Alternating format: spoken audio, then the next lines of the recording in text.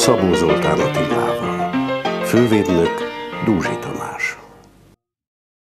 A világhoz nem alkalmazkodni kell, hanem csinálni. Nem újra rendezgetni azt, ami már megvan benne, hanem hozzáadni mindig.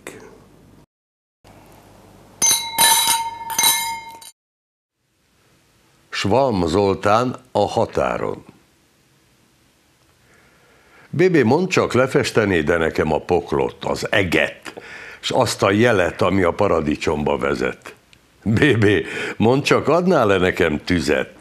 Lent reggeli szürkület, lóna zöld díványán a háború hempereg. Damjáni Maricát gyászolja, vadházasságának végét, de csokoládét lónának vásárol, és ad neki mást is, ébért. Bébé, mondd csak, merre jár most Péter? Ablakpárkányokon táncol, vagy kuplerájban élsz el? Adriáni Alice szőkefeje a térdemen nyugszik, az aranymérleg mégsem az enyém, a makizártban bomlik. Bébé, mondd csak, boldog-e a medve? Tudja-e, hogy egy nagy mozdulatot tettem, egy kicsit hátratoltam a labdát bal felé, majd jobb külsővel rászúrtam a bört, de az messzire repült. Bébé, mondd csak, lefestené de nekem a poklot, az eget, az Istent, a határt, az asszonyt, aki szeret. Az utolsó Memphisre gyújtottam rá az imént. Csak tudnám miért. Bébé, lehet mélyebbre esni a földnél. Az anyakönyvezető hasán vastag nemzeti színek. Bébé, mondd csak, van-e út, ami a paradicsomba vihet? Bébé, felej! Egy fuldokló gyereklány hangja suttogta az imént is tele az eget. Bébé, felej! És festeni szabad a csodákat? Hát élni? Azt lehet? Bébé, mondd csak, minden megvan. Bébé, felej! Add fel a szürkületeidet. Oszlapot, de előtte keverj. Bébé, mondd csak, ahol a nagy híd nekifut a hegynek, ott vár a kártya asztal. Ha nem, hát csezd meg, üvölteném most Merényi. Ottlik hőseit és művészetét idéztük meg az imént a Határon című versel, és most foglaljanak helyet törzsasztalunknál. Mai vendégeink Rutkai Laura, a Magyar Színház művésznője és a beugró komédiása, illetve Dengyel Iván, a Vix Színház színművésze, tiszteletbeli artista, ugye ezt is mondhatom akár. Én köszönöm szépen. Majd erre még visszatérünk. Műsorunk fővédnöke Dúzsi Tamás, hogy mutassam be őt, az év bortelmelője volt 2014-ben, és akkor először kezdjük azért azzal, hogy Laura sportcsalád a tietek, és hát ugye a törékeny alkatothoz nem nagyon tudnám oda passzolni, szerintem sokan nem passzolnák oda, hogy te a DVTK kemény magjában nőttél fel, kis túlzása. Na erről mindenképpen nyitányként mesélj nekünk. Hát így van, édesapám Rutkai Zoltán, aki a Diós Győr legendás, még akkor a előző században legendás Diós Győri csapatnak oszlopos tagja volt, és hát még akkor még NB1-es volt, mert hát aki egy picit ért a, a magyar focihoz tudja, hogy ezért a Diós Győrnek voltak hányattatott időszakai, de ő szerencsére a fénykorában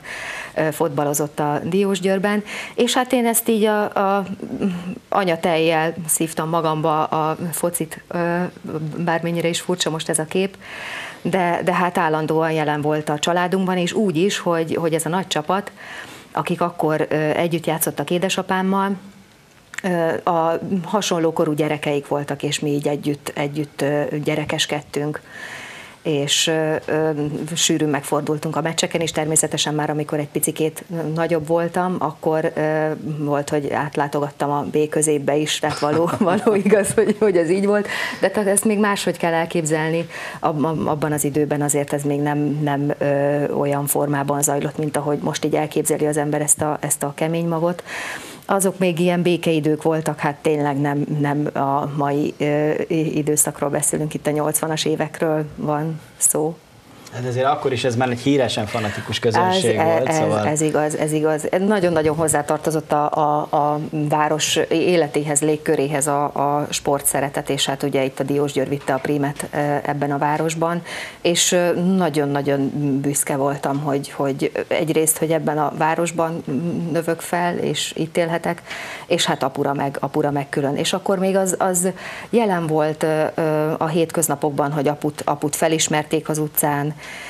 és megszólították. Ez egy kisváros, tehát szerintem lépten nyomon. Igen, igen, ugye? igen, igen, igen, igen. És hát aztán később, amikor már apu úgymond kiöregedett, akkor, akkor sem ö, ö, hagyta abba a focit, hanem akkor elment edzőnek ö, MB 2-es, MB 3-as csapatokhoz, és ö, már, már amikor még az öreg fiúkkal is tartották a kapcsolatot, sőt jártak is így a, a világban még, akkor még ugyan vasfüggöny volt, de ők már mehettek Kanadába, és akkor ott az öreg fiúkkal játszottak, tehát ez egy, ez egy olyan, olyan jó közösség volt, olyan, olyan éveken, évtizedeken átnyúló kapcsolatok, ami, amik ma már egy picikét így ritkának is mondhatóak, és nagyon-nagyon hiányzik, úgy gondolom a, a, az életünkből, vagy mindenkinek az életében jó lenne, hogyha magáénak tudhatna ilyen, ilyen dolgokat. És hát még annyi, annyi így édesapámhoz gyorsan csak zárójelben, hogy, hogy közben már, amikor ő érezte, hogy hát azért ez, ez egy véges dolog, akkor ő, ő elvégezte a jogi egyetemet, és Sem aztán természetesebb fociából jogász.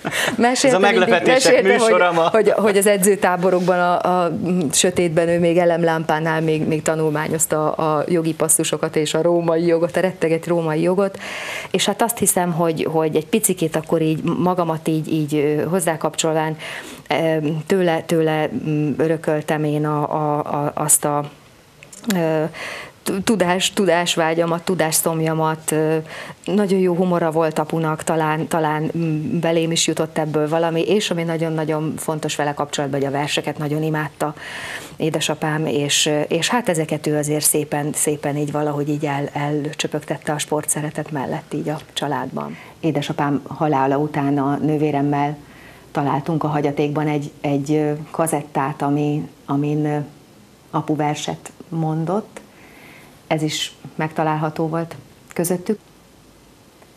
Nem tudhatom, hogy másnak-e tájék mit jelent. Nekem szülőhazám, itt elángoktól ölelt kis ország, meszteringó gyerekkorom világa.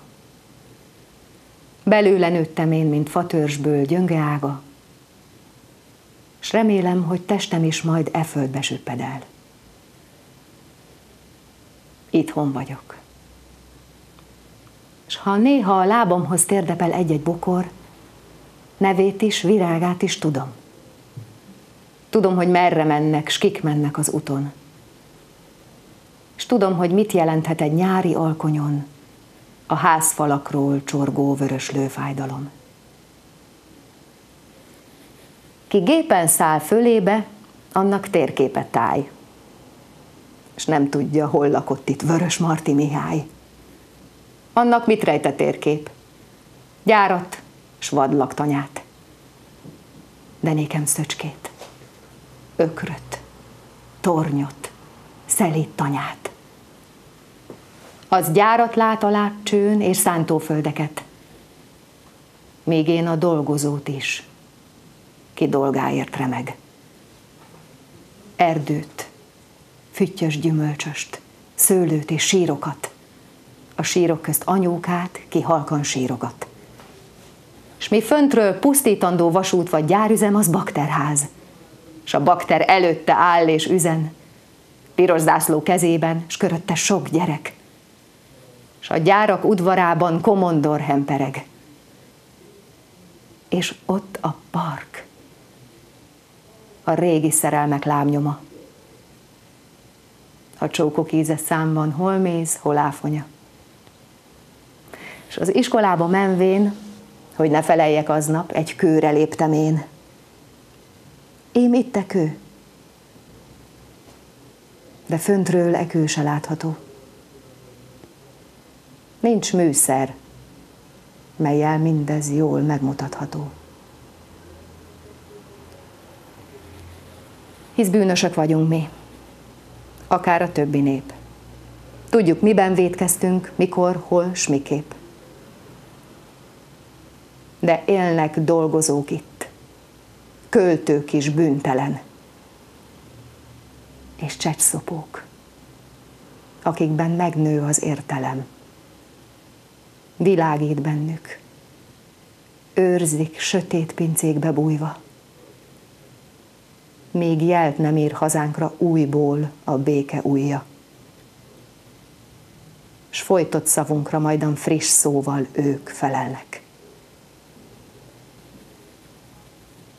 Nagy szárnyadat, borítsd ránk, virrasztó éji felleg.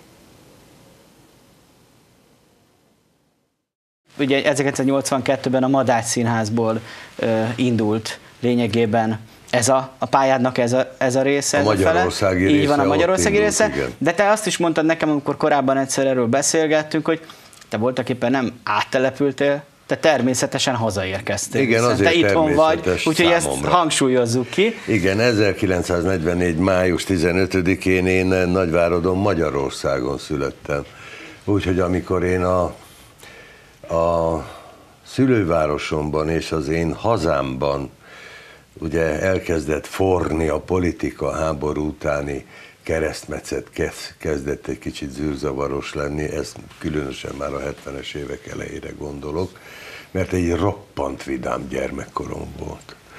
Foci, az összes spo- sportok, és legfőképpen a szertorna.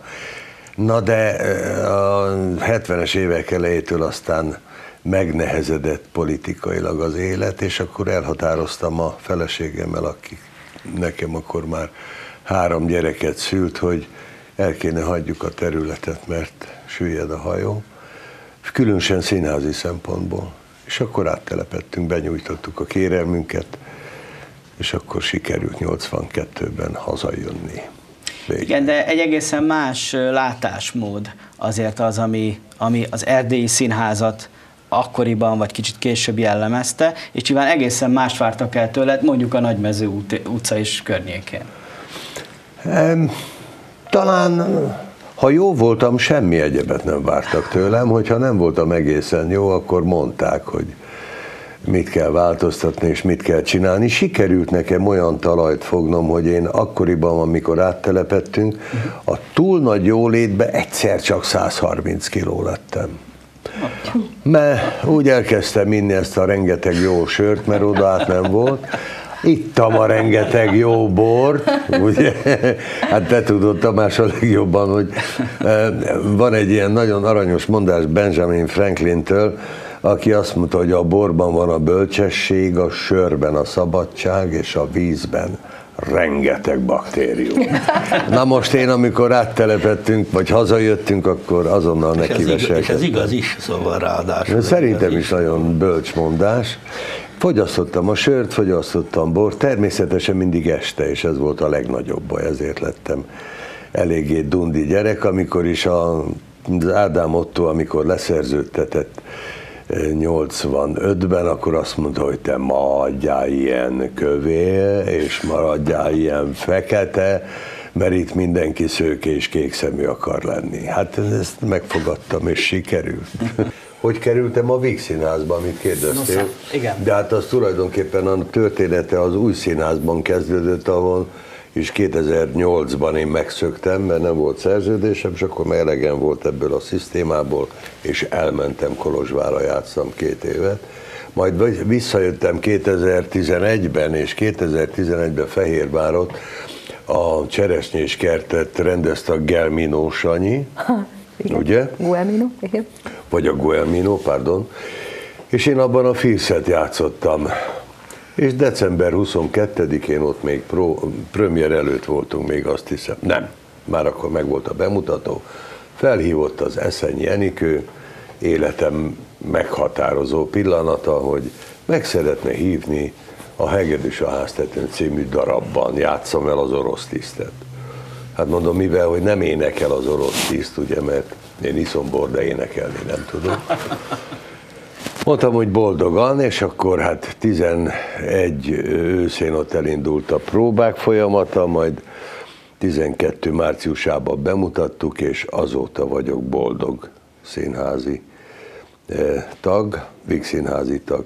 Ott már díjat kaptam, a Kis Csillag, Kis Csillag díjat megkaptam, a Madács Színházban megkaptam a Pufi díjat, 99-ben megkaptam az új színházban a Jászai Mari díjat, és most kaptam október 14-én a az Óze díjat. Amihez gratulálunk. Hát ezt ünnepeljük meg rögtön Duzsi Tamásnak valamely nagyszerű borával. Mi jót iszunk most?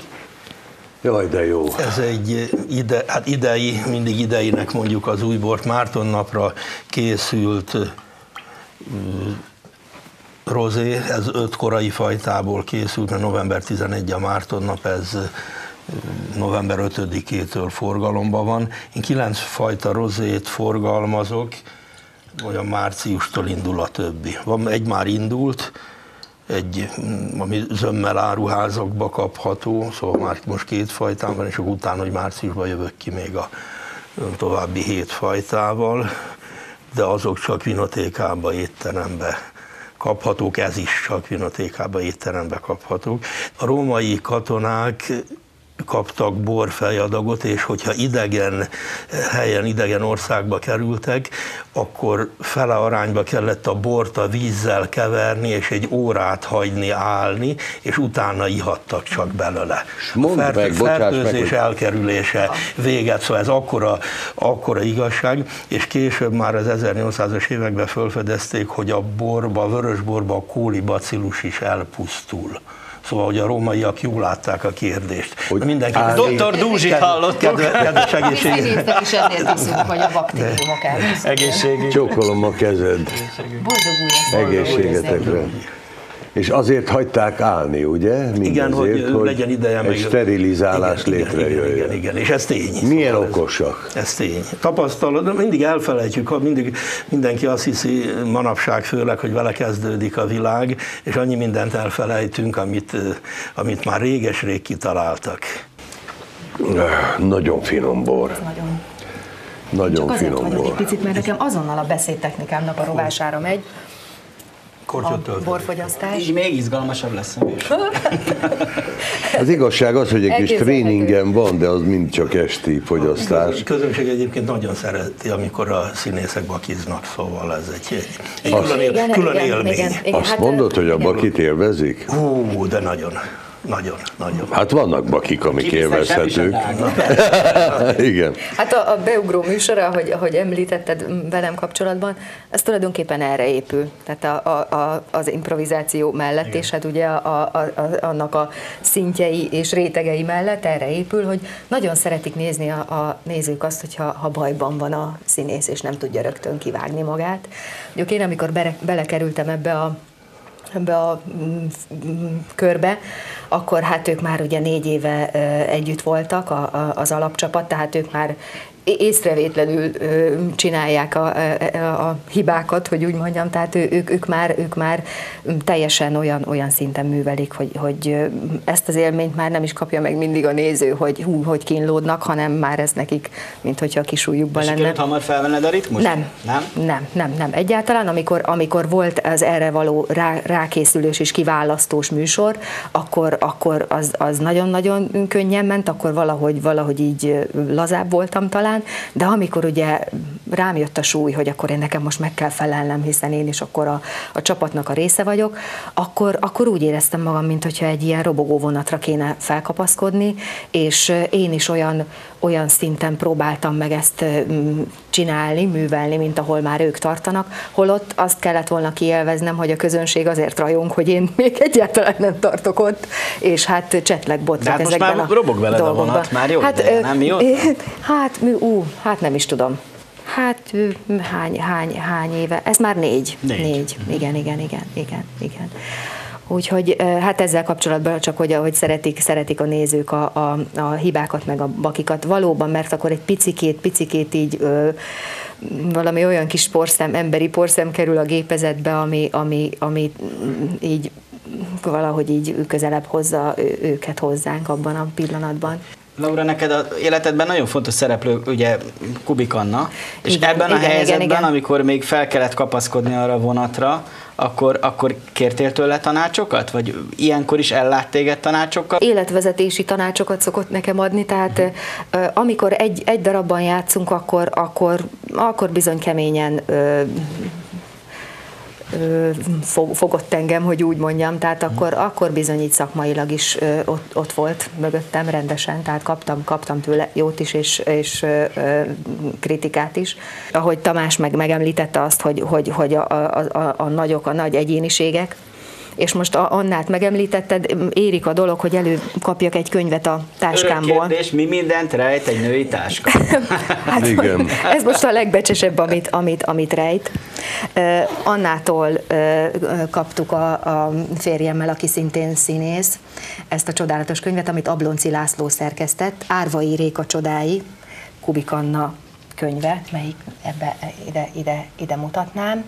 És ezt lapozgattam, és hát képzeljétek el, hogy ezekben a napokban van a 30 éves jubileum az Advente Hargitánnak a, a bemutató. Az előadás bemutatójának. Igen, 1986. Szerencsém volt látni. Ezzel kapcsolatban um, van itt egy bejegyzés, ami, ami egy olyan, olyan csodáról ö, számol be, ezt, ezt a pár, pár gondolatot elolvasnám, és akkor itt fölismerülnek ilyen, ilyen bizonyos nagy nevek és mogulok, akiket mi így hívtunk a színházban. Ö, Annyit tartozik a történethez, hogy a sütő nem lehetett ott a bemutatón, és ö, ezt írja ez a, ez a ö, bejegyzés. Az előadásnak 22 órakor lett vége, ezt egy 30 perces vastaps követte. Itt egy pillanatra álljunk meg, mert manapság így körülbelül, hát Iván, me- mennyi, mennyi? Én nem ilyen? láttam még ilyet, nem éltem nem, meg. Nem éltünk ilyet meg. E- e- e- Az egy csodálatos pillanat volt, ugye, hát Tudom, mennyi 30 perc. Hát én akkor le- lehet, hogy nem Az is. fél hát, óra nincs, is, csókolom, nincs is hát. szükség rá, hogy én ezt tovább olvassam, mert akkor ezt te is tudod, hogy, hogy mi történt. eh, nem itt. tudom, színházak életében ez nagyon ritkán fordul elő. Azért még kíváncsiak vagyunk itt. A... Rendben, rendben. Kubik Anna színművésznő lement a nézőtérhez, és úgy tett, mintha keresne a nézők között valakit, majd mivel nem találta meg, akit keresett, nagyméretű válkendőjét letette a színpadra, és a nézőtérről felvitt virágcsokrokkal feldíszítette azt. Ezután a főszereplők Sinkovics Imre, Agárdi Gábor, Funtek Frigyes, Götz Anna, Kubik Anna a kendőt körbeállva tapsoltak. A közönség hangulata erre tovább fokozódott. A szereplők a 30 perces tapsból mintegy 20 percig nem hajoltak meg, hanem vigyázállásban fogadták az ünneplést. A taps után a közönség folyamatosan rendzavarás nélkül távozott a színházból, szól ez a jelentés. Én, eh, engem ez több, több, több szinten meghat ez a, ez a történet. Egyrészt, eh, hogy ez egy olyan világ volt nyilván a, a akkori történelmi és politikai szituáció miatt, hogy ilyen megtörténhetett egy ilyen katartikus esemény. De hogy egy picit magam, magamra is fordítsam eh, ezt a történetet, én még ezekkel az emberekkel álltam egy színpadon és egy színházban mm, játszottam velük. És a másik, ami, ami megragadott, hogy jöttem idefelé, szétfagytam a, a úton és a, a BKV-zás közben, és azt tudom Annától, aki nekem ezt a történetet már személyesen is elmesélte, sőt, amikor az akadémia tagjává választották Annát, akkor ez volt neki a székfoglaló dolgozata, amit elmondott ezzel kapcsolatban, ez az előadás. És azt mondta, hogy a, akik nem jutottak be, nézők, de akkor ezt biztos te is tudod, kint hallgatták, egy tanárnő felolvasta a darabot párhuzamosan a benti előadással.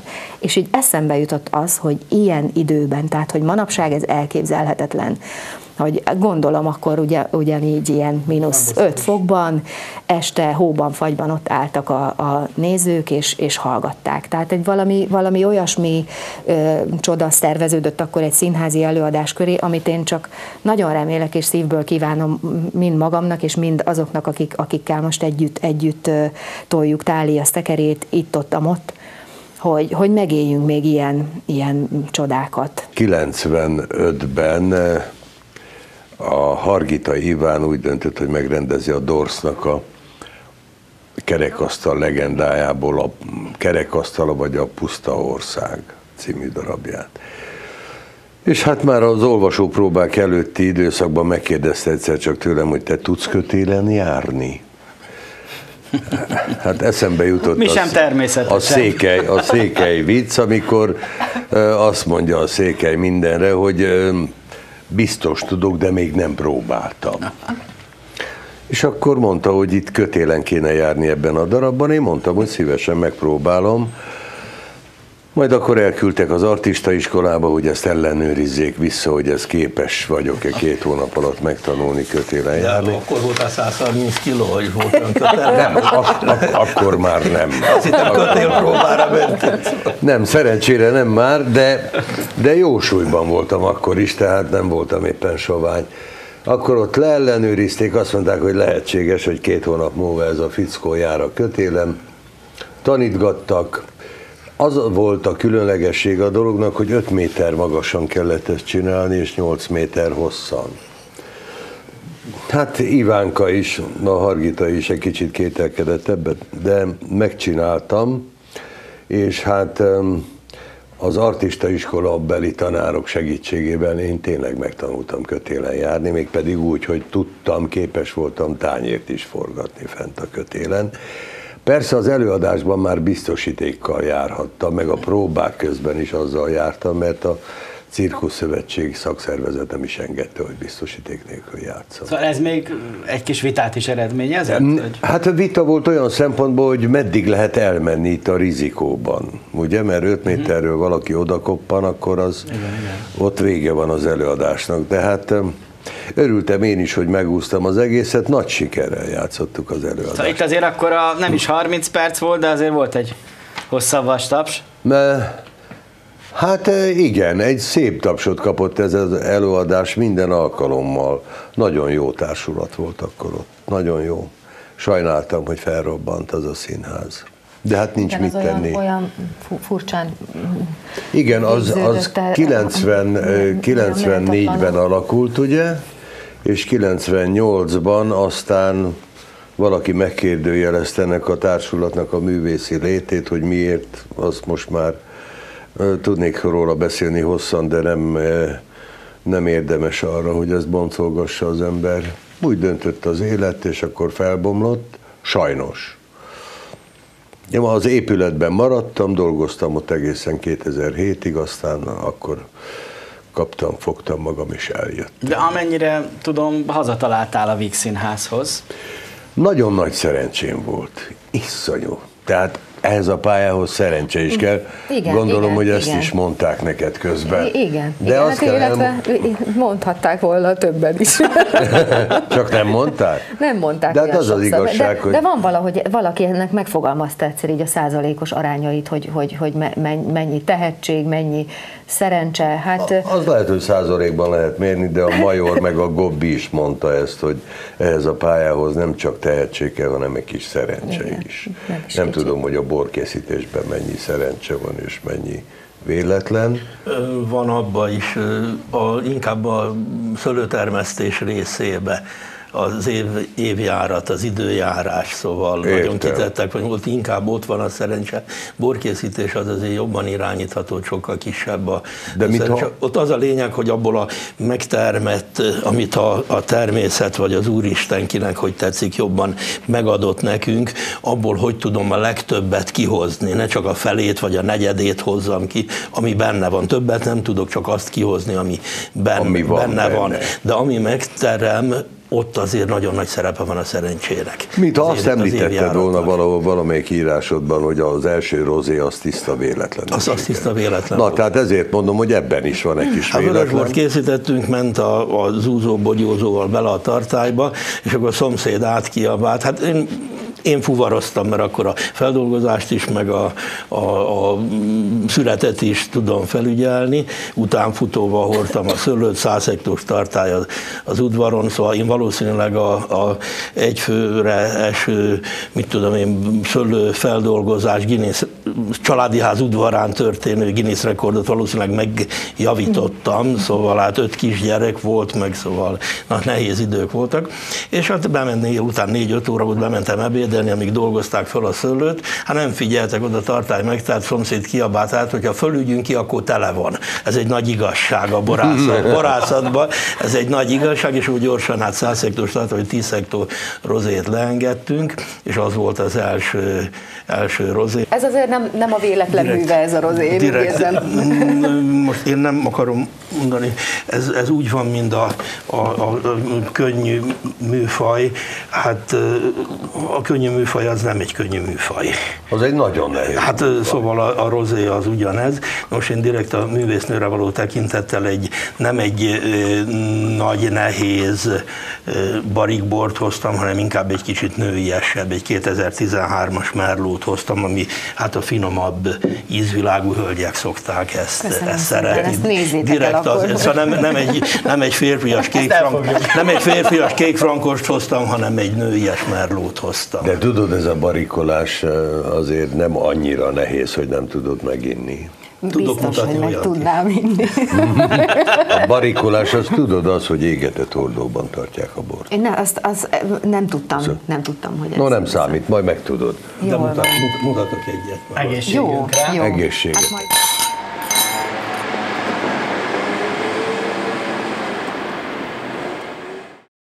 A világhoz nem alkalmazkodni kell, hanem csinálni. Nem újra rendezgetni azt, ami már megvan benne, hanem hozzáadni mindig.